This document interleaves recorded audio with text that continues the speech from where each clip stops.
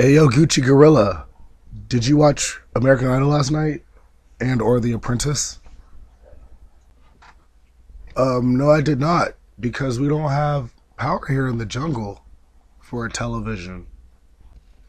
What are you talking about? Uh, do you mean that DTV crap? I don't know anything about it, but we're in the jungle, so I think it should work.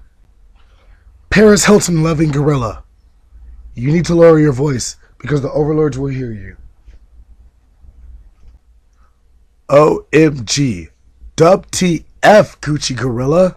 Why are you tripping so hardcore? Fine then. When you're at the Wrath of His Club Demons, you let me know how you feel. Club Demons? What do you mean? Oh my god, it's 50 Cent! Yeah. Gorilla Unit in the forest now officially because we made it awesome.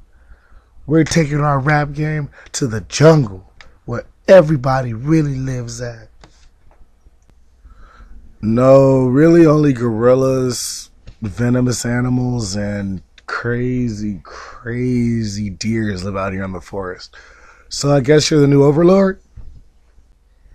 Yeah, because the way it happened was I was in the club, and then all of a sudden I saw this other gorilla, and he looked like a man, and he offered me a record deal in the forest. So I came out here, and I'm to start recording and overruling all y'all monkeys.